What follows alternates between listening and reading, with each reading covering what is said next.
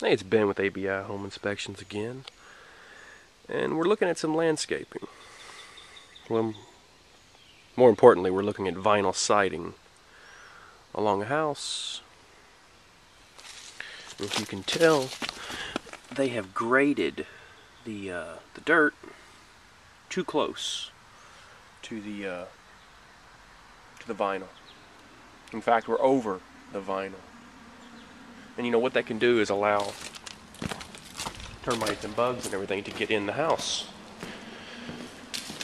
But what we've got is water penetrating through the wall of the garage and coming in and leaving this big puddle of dirt and mud. It's been happening for a while. You can see the bubbling of the drywall, the mud running down the block.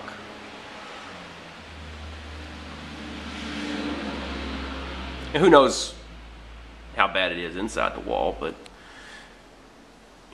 the point is keep your grade lower than the walls of your house and you can stop things like this from occurring.